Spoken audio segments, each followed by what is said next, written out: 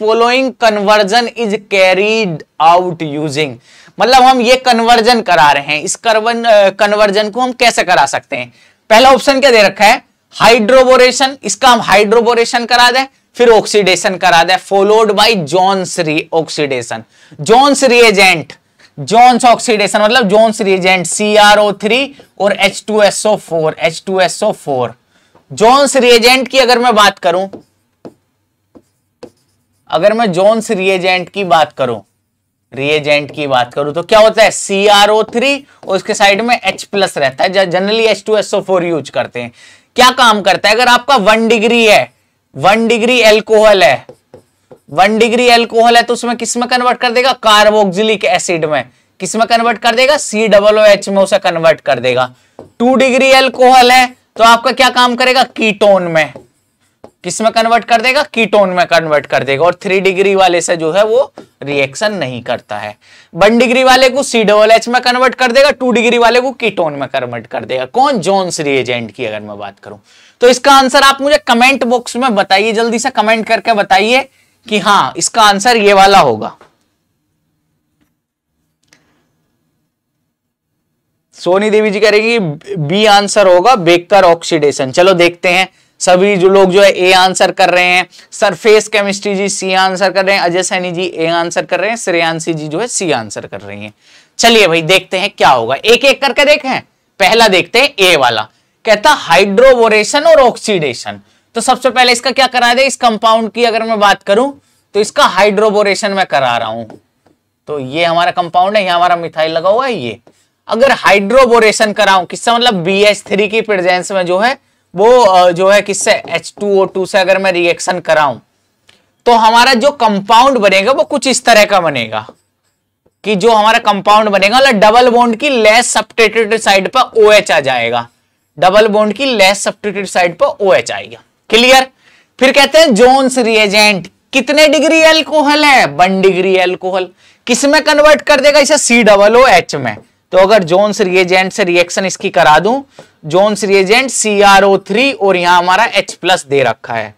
अगर इसकी मैं जोन्स रिएजेंट से रिएक्शन करा दूँ तो क्या हो जाएगा? सी डबल ओ एच हमारा ये कंपाउंड बन जाएगा। क्या ये कंपाउंड वो कंपाउंड सेम है?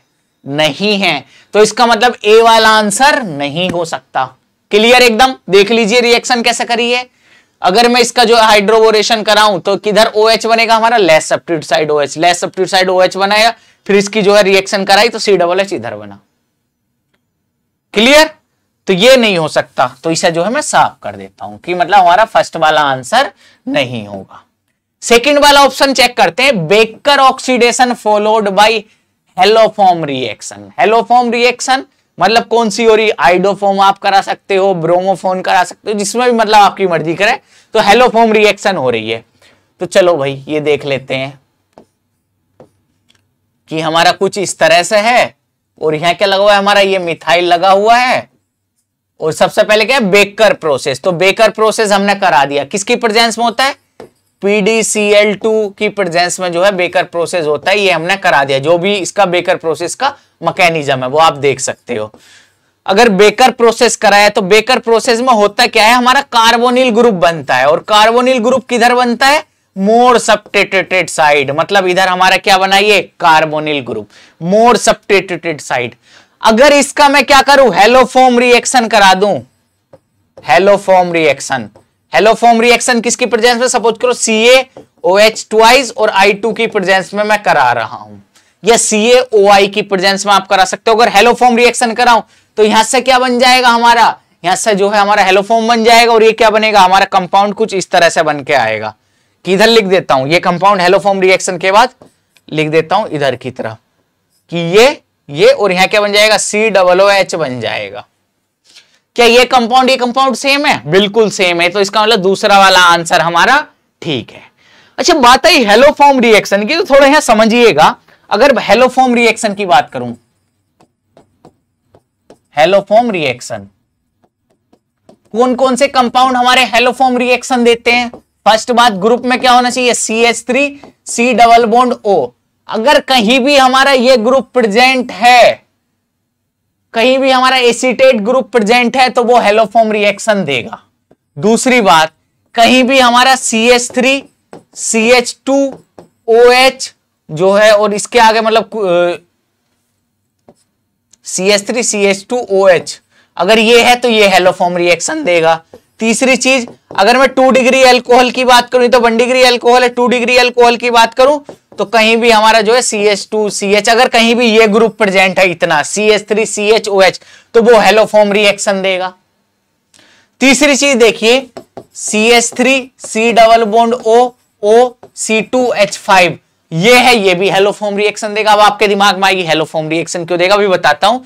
अगर ये रिएक्शन करेगा तो ऐसे क्या होगा? C H three C double bond O O H बन जाएगा। फिर हमारा क्या बनेगा? C H three C H two O H बनेगा। और मैंने बताया था, ये वाला एल्कोहल कैसा है? जो हेलोफॉर्म रिएक्शन देता है। वन डिग्री एल्कोहल में केवल एक एल्कोहल है जो हेलोफॉर्म रिएक्शन देता है। कौन सा है? ये वाला। ये लिखा हुआ है। तो इसका मतलब इससे क्या बनना है? एल्कोहल बनना है जो हेलोफॉर्म रिएक्शन देगा। अब आपके दिमाग में क्वेश्चन आ रहा होगा कि हेलोफॉर्म रिएक्शन किस तरह से होगी? कि हेलोफॉर्म रिएक्शन हो कैसा रही है? तो देखिए, मैंने आपको बता दिया कौन कौन से कंपाउंड देंगे। सारी चीज़ मैंने बता दी। अच्छा फोर एक एक और बता देता हूँ। देखिए, ये कंपाउंड है तो ये भी देगा। C S three C double bond O, और इसका जो है मैंने आपको बता दिया है, और जो है क्या हो सकता है कि हाँ इतने ही कंपाउंड ये मतलब ये ग्रुप अगर कहीं प्रेजेंट है तो वो हेलोफोम रिएक्शन देगा। अब देखिए, इसका मैकेनिज्म थोड़ा सा देख लीजिए। हेलोफोम रिएक्शन किस तरह से होती है? अगर बात करूँ C S three C double bond और इधर कोई भी बड़ा सा ग्रुप लगा हुआ है आर मान लीजिए। इसे क्या करते हैं? हम बेस देते हैं। बेस सपोज़ करो सी ए ओ एच का ट्वाइस और जो है हमने क्या दिया? आई टू ये हमने दिया। बेस क्या है हमारा? ये। कैल्शियम ऑक्साइड अब ये क्या काम करेगा? बेस यहाँ से हाइड्रोजन एक्सेप्ट करेगा। हाइड्रोजन एक्सेप्ट करा तो क्या बना? C H two minus C double बोलो आर अब ये क्या काम करेगा? आई टू से रिएक्शन करेगा।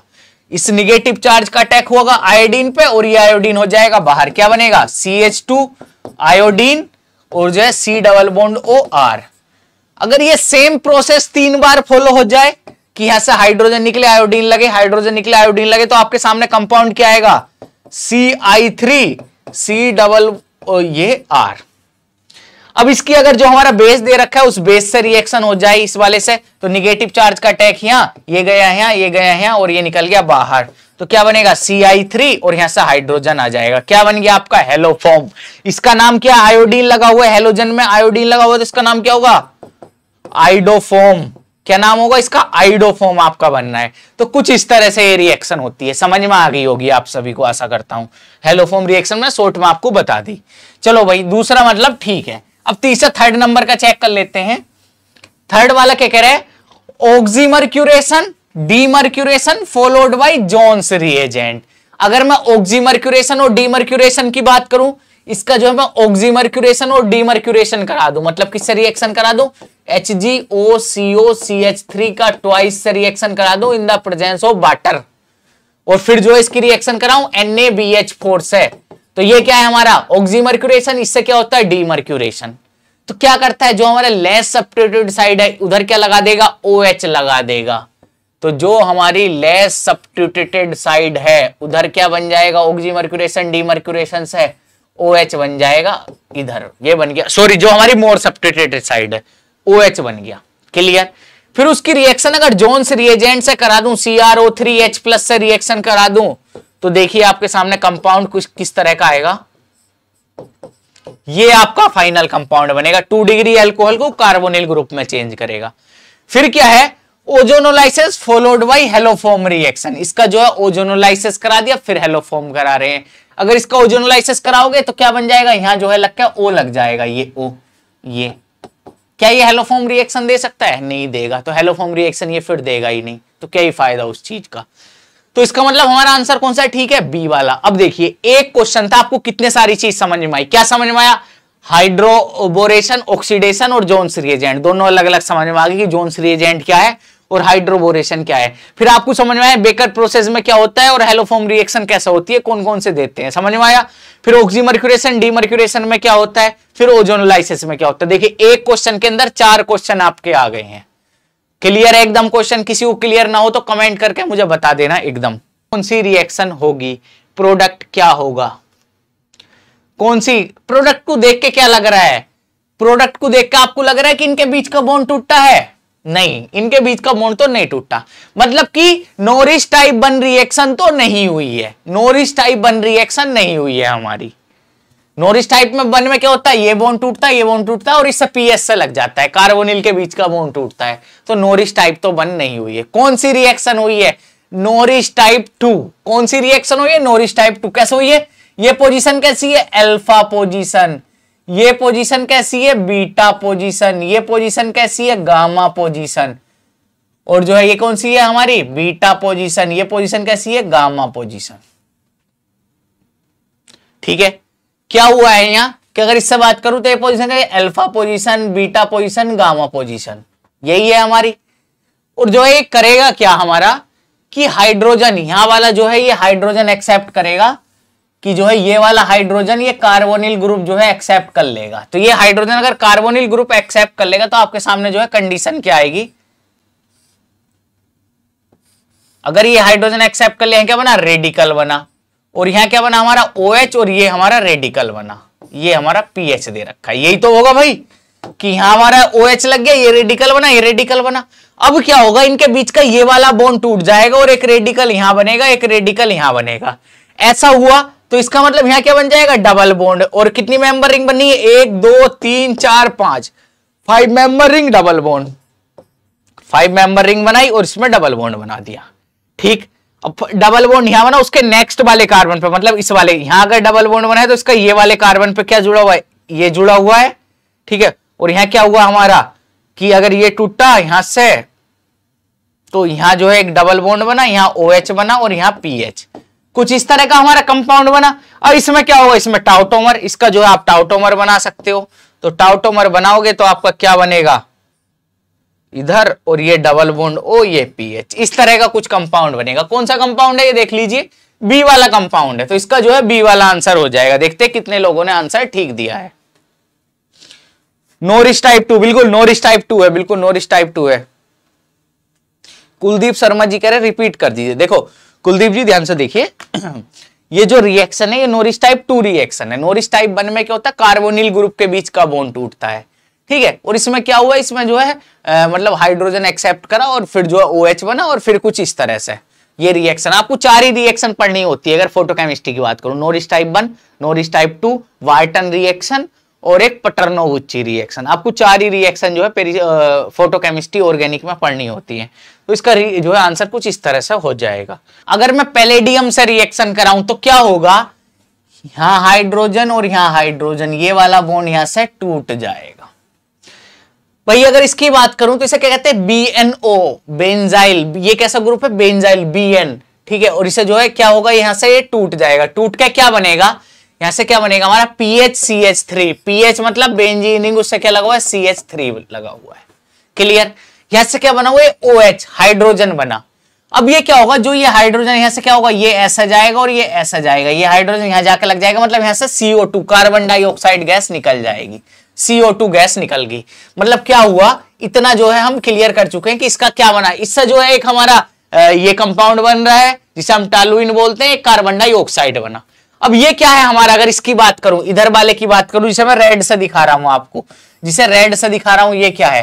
पहले ये क्या है? एन टर्मिनल साइड ये क्या है? सी टर्मिनल साइड ये एन टर्मिनल साइड ये सी टर्मिनल साइड अब नंबरिंग मतलब नेमिंग कैसे करते? हैं एन टर्मिनल साइड वाले जो है अमाइनो एसिड को पहले लिखते हैं। तो एन टर्मिनल साइड में ये वाला जो अगर इसकी बात करूँ तो ये क्या है? फेनिल एलानीन क्या नाम है इसका? फेनिल एलानीन जिसे हम पीएचई से जिसे जो है हम पीएचई से रिप्रेजेंट करते हैं किससे पीएचई से। और दूसरे डाइपेप्टाइड की बात करूँ तो ये वाला हमारा क्या है? ये वाला क्या है हमारा ल्यूसिन क्या है ये हमारा ल्यूसिन तो ये क्या है हमारा leucine L E U L E U इसे मैंने लिख दिया। क्या क्या बनना है हमारा? टोलुइन बनना है कार्बन डाइऑक्साइड बननी है फेनिल एलालीन बनना है और ल्यूसिन बनना है। देखना कौन सा है? Phenyl alanyl leucine toluene carbon dioxide B वाला आंसर हो जाएगा। इसका आंसर जो होगा बी वाला होगा। देखिए सुर से सुनिए। सबसे पहले इस ऑक्सीजन यहाँ से ये बोन टूट जाएगा, कुछ इस तरह से। फिर यहाँ से कार्बन डाइऑक्साइड निकलती है। ये ये जो भी हमने लगाया ना प्रोटेक्शन के लिए लगाया प्रोटेक्शन के लिए। ठीक है एन टर्मिनल साइड का प्रोटेक्ट करता है हमारा ये ग्रुप तो इसका जो हमने क्या करा है? डी प्रोटेक्शन करा है। अब